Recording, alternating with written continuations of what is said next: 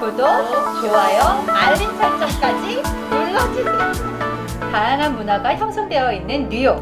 잠들지 않는 도시 뉴욕. 뉴욕에서 전해드리는 뉴욕 이씨와 뉴저지 리나의 지금은 뉴욕 미니.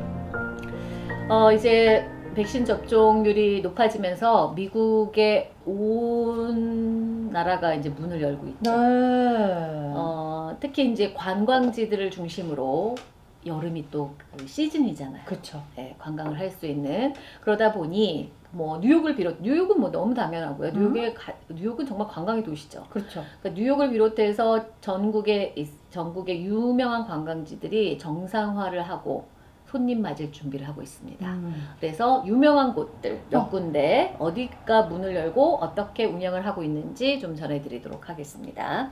먼저 뉴욕은 어, 28일에 베슬이 개장을 오. 했, 재개장을 했죠. 네네. 이 베슬은 그러니까 음, 뭐 팬데믹 때문에 문을 닫은 건 아니에요. 음, 예, 다른 일 때문에. 그렇죠. 음. 그 거기서 자살하는 사람이 무려 3명이나 발생을 했어요. 음. 그게 작년 2월부터 올해 1월까지 3명이 거기서 자살을 하는 사건이 벌어져서 그때 1월 마지막 3명 자살 이후에 음. 그냥 문을 닫았습니다. 그래서 어 이제 그동안 문을 닫고 있다가 20, 5월 28일에 이제 재개장을 한 거예요. 그래서 뭐 사실 그동안 가보셨어요, 베스? 아니요, 저 고소공포증. 아. 고소공포증 있어요. 그래서 저는 베스를 가봤는데 거기가 진짜 너무 개방적이에요. 그러니까 계단을 타고 계속 올라가는데 진짜 이렇게 난간이 유리로 돼 있거든요. 음. 근데 그렇게 높지 않아요. 그러니까 맘만 먹으면 누구나 어. 나쁜 생각할 수 있을 만큼 사실 유- 위험하죠. 그래서 이제 자살률이 높다 보니까 그때 문을 닫으면서 사람들이 이제 거기에 완전히 그냥 다 난간을 막으라고 했어요. 그러니까 근데 이제 그렇게 하려면 이제 비용도 들고 거기서 제작한 회사 측에서도 이제 뭔가 의도에 맞지 않았겠죠. 그래서 이제 내놓은 대책이 문을 열면서 이제 보안 요원을 더 이제 더 늘린 음. 거예요. 그러니까 거기를 이제 안전 요원들, 안전 요원들을 한 세 배로 늘렸다고 합니다. 그리고 이제는 베슬에 혼자서 입장이 안 된대요. 음. 뭐 가족이 됐건 네네네. 친구가 됐건 반드시 두 명 이상이 그 입장을 할 수 있다는 거. 그래서 이런 좀 조치를 취하면서 문을 열었습니다. 그래서 앞으로는 그런 사고가 안 일어났으면 그러게요. 좋겠고요. 네. 예. 그래서 되게 전망이 좋아요. 그 앞에 허드슨 강변이 쭉 펼쳐 있고 음. 있고 그런 건 좋은 것 같아요. 근데 좀 힘들어요. 그래요? 예, 저처럼 걸어 다니는 거 싫어하는 사람은 그 어. 계단을 올라 힘들더라고요. 엘리베이터 없어요? 있는데 정말 엘리베이터 앞에 줄을 줄을. 아, 예, 그리고 거기까지 갔는데 엘리베이터 타러 간 건 아니잖아요. 우리가 엘리베이터 음. 어디서 탈 수 있잖아. 잘 못 타요. 그래서 기어이 또 걸어서 올라가는데 내려올 때 이제 아. 다리 아, 후들후들거리더라고요. 진짜요? 예, 음. 힘들어가지고. 하여간 그렇고요. 그다음에 가장 또 유명한 게 디즈니랜드죠. 오, 디즈니랜드. 디즈니랜드가 이제 캘리포니아에 있고 여기 올랜도에 있죠. 디즈니 월드. 디즈니 월드. 그쵸. 그래서 이제 먼저 캘리포니아 얘기를 먼저 해드릴게요. 캘리포니아 디즈니랜드 경우에는 4월 30일에 개장을 했어요. 네. 그래서 어, 한 400여일 만에 1년 넘게 문을 닫고 있다가 문을 연 거라고 하네요. 그래서 개장과 동시에 거의 두 달 예약이 찼대요. 사람들이 얼마나 가고 싶었으면. 그래서 그날 왜 개장한 날 막 신문에 나오고 그랬죠. 사람들이 음. 정말 많이 갔더라고요. 그래서 어 그리고 그 캘리포니아의 디즈니랜드가 6월 15일부터는 그 타주에서 온 방문객도 입장을 허용한다고 합니다. 오. 그러니까 이제 캘리포니아 가실 분들은 가셔도 될 것 같아요. 주식 좀 오르나요? 아 그러네요. 그렇죠. 네. 그리고 어 그 캘리포니아 어드벤처는 6월 4일 어 어벤져스 캠퍼스를 처음 공개한다고 하네요. 오. 오. 뭐 어벤져스 그, 음. 그 캐릭터들이 있는 그런가 봐요. 학교예요? 어, 예. 오, 너무 재밌는 거. 그리고 캘리포니아에. 그 다음에 파라다이스 호, 피어 호텔은 6월 15일, 어. 디즈니랜드 호텔은 7월 2일. 네, 각각 영업을 재개한다고 합니다. 그러니까 본격적으로 여름을 맞아서 이제 네. 문을 열고 있는 거예요. 어. 네, 플로리다 올랜드에 있는 거, 음. 월트 디즈니 월드. 음. 여기는 문을 언제 열었는지 아세요? 작년 작년. 7월에. 한참 아무도 몰라. 어, 팬데믹이 막이 여기 플로리다가 공화당 주지사가 있잖아요. 그러니까 이런 그렇게 심하게 규제를 하지 않았어요. 네. 예, 여기는 왜 그 한참 그럴 때 작년 여름에 마이애미 해변에 사람들 바글바글 하고 막 그랬었잖아요. 음. 그래서 아이가 월드 디즈니 월드도 역시나 7월부터 재개장을 했는데 어 지금 입장객 숫자 그치만 입장객 숫자를 좀 제한하고 마스크도 의무적으로 착용을 해야 되는 지침을 운영했었는데 네. 어뭐 좀 풀리겠죠 이게 그리고 그렇지만 뭐 올 봄부터 이미 예약이 꽉 여름까지 다 차서 아마 음. 좀 힘드시지 않을까 지금은 음, 가까운 소식 가까운 곳 네. 놀이동산 뉴저지에 있는 식스 플래그스 네. 여기는 3월 말부터 사파리 우선 사파리를 먼저 했어요 맞죠. 네, 놀이공원은 안 하고 음. 그래서 사파리를 시작 거기는 이제 야외에서 이렇게 볼 수 있으니까 사파리 운영을 시작을 했는데 그래서 그리고 이제 놀이공원 같은 경우에는 처음에는 이제 주말만 하다가 음. 차츰 이제 놀이공원도 확대를 했고요. 그 다음에 그 동안은 예약만 예약을 하고 예약한 사람만 갈 수 있었어요. 네. 근데 아무래도 인원 제한을 해야 되다 보니까 네. 그랬었는데 이제는 5월 22일부터는 예약 없이 음. 예전처럼 누구나 가서 예, 들어갈 수 있게 됐습니다. 어 그렇지만 사파리 같은 경우는 이제 그 아직도 예약제로 운영을 한대요. 네. 왜냐하면 그거는 이렇게 차를 타야 그쵸, 되잖아요. 그쵸. 예. 그러니까 이제 좀 그런 것들이 있는 것 같고 그다음에 또 식스플래그스에 갈 이유가 하나 더 생겼죠. 뭐 최대 무슨 맞아요. 그거 생긴다고. 예, 음. 그 제가 그게 저지. 예, 네. 저지 이름이 저지 코스터인가 뭐 이래요.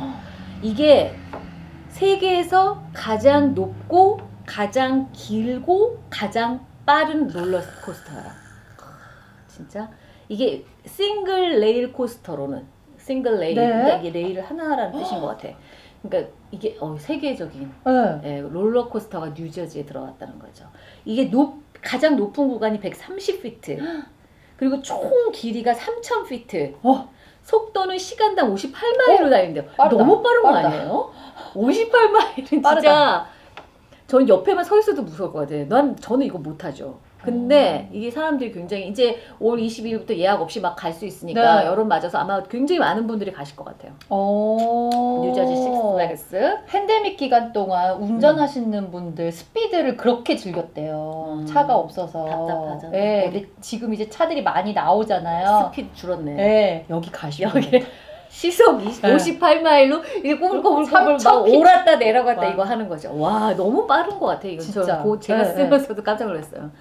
자, 그 다음에 이제 박물관 같은 경우는 실내기 때문에 이게 문을 그동안 많이 못 열고 있었는데 드디어 워싱턴 DC의 유명한 박물관이죠. 스미소니언 박물관. 뭐 한국 음. 분들 오시면 다들 여기 한 그렇죠. 번씩 가시잖아요. 이 스미소니언 박물관 밑에는 8개의 전시실이 있대요. 음. 근데 이게 이번 달에 문을 열고 이제 운영에 들어간 거예요.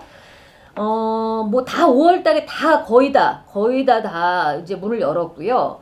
지금 사실상 스미소니언은 작년 같은 경우 작년 가을쯤에 문을 열었었어요. 근데 네. 갑자기 2차 그 유행이 오면서 네. 11월쯤에 다시 문을 닫았다가 이번 5월에 다시 열은 거예요. 음. 그래서 단계적으로 지금 늘릴 계획이지만 아직까지는 한 25% 정도만 관람객 받고 있다는 거. 네. 그 다음에 또 한 가지는 그 드디어 크루즈가 네. 운영을 시작했어요. 크루즈 아. 회사들이 이제 백신 맞고 있으니까 우리 제발 재개할 수 있게 해줘. 이게 연방 정부 차원에서 금지시켰거든요. 네. 왜냐하면 크루즈 안에서 그동안 코로나 바이러스 그 사- 환자 감염자들이 너무 많이 나와가지고 사실 다 문을 닫았고 운영이 중단됐었는데 로열 캐, 캐리비안 음. 로열 캐리비안 음, 그 크루즈에 한해서 우선은 재개를 승인했어요. 그래서 그 6월부터 백신 접종을 완료한 승객 그리고 완료한 그 승무원들만 태우고 음. 플로리다에서 출항을 시작합니다. 아하. 그래서 크루즈 여행하실 분들은 네. 어 이제 백신 접종 완전 하시고 네. 가시면 될 것 같아요. 네. 그래서 뭐 이게 지금 하나 정도가 재개가 됐지만 이제 이런 식으로 하면 앞으로 크루즈 모든 크루즈도 음. 그렇죠. 다 시작이 되겠죠. 네. 그리고 우리 전에 그 바닷가에서 글램핑 얘기했던 거 기억나죠? 우리 그때 그 단어가 생각이 안 나가지고 아. 텐트 같이 생겨가지고 그 뭐- 차에다가 에, 뭐를 차박은 아니고. 아니고. 네. 좀 glamorous한 약간 이렇게 좀 럭셔리한 텐, 그 캠핑 어. 이거를 글램핑이라고 하는데 가버너스 아일랜드 얘기를 우리가 한번 했었어요. 그렇죠. 가버너스 아일랜드 이 글램핑이 되게 유명하다라는 얘기를 했는데 어. 개장을 합니다. 어머 진짜. 네. 5월 1일부터 5월 1일부터 이제. 예, 공개를 했어요. 그래서 이제 여기 이제 가버네스 아일랜드는 오픈했고 5월 1일에 어, 오픈을 어, 했고 맞아요, 맞아요. 네, 그래서 5월 22일부터 아마 글램핑이 시작이 됐을 거예요. 어. 네. 이게 글램핑 한 두 명, 세 명 이렇게 잘 수 있는데 500달러에서 700달러예요. 하룻밤에 네. 비싸다. 근데 비싼 만큼 거기서 해돋이라든지 오. 해가 지는 게 그렇게 석양이. 뭐 네. 네. 석양을 보러 간 일부러도 가잖아요. 어, 그러니까 맞아요. 거기 진짜 거기서 멋있어요. 하루 글램핑을 하면서 그걸 보시는 어, 거예요. 글램핑이 그러면 같은 텐트인데 좀 럭셔리한 텐트. 럭셔리한 텐트. 아, 그런 거 안에 막 침대도 침대 있고, 있고. 아, 네. 막 이렇게 구부리지 않고 아니, 아니, 딱. 서서 이렇게 네. 있는 그런 네. 걸 글램핑이라고 하는구나. 그걸 글램핑이라고 요. 아, 네. 그게 이제 가버너스 아일랜드에 그렇죠. 있다고요? 네. 가버너스 아일랜드 들어가실 때 아마 그 페리가 3불인가 그래요. 음, 근데 싸다. NY ID NYC 있죠. 예, 그 예. 뉴욕 ID. 어, 어. 네, 리- 그거가 있으면 공짜예요. 공짜 네. 뉴욕 시민들한테는 네, 공짜로 네. 하는구나. 그래서 이렇게 가시는 것도 그 좋고. 유라 그 가는 페리도 늘린 걸로 알고 있어요. 음. 네, 가버너스 아일랜드. 어, 여기 글램핑 하러 한번 가고 싶은데 네. 갈 사람이 없네요. 어떻게 저기 우리 제 PD하고 한번 그런 데를요? 저는 텐트에서 밖에 자는 거 너무 싫어하거든요. 그래서 네. 네, 그래서 이제 팬데믹이 끝나가면서 서서히 문- 문을 열고 있는 미국의 유명 관광지들 소개해드렸습니다. 嗯。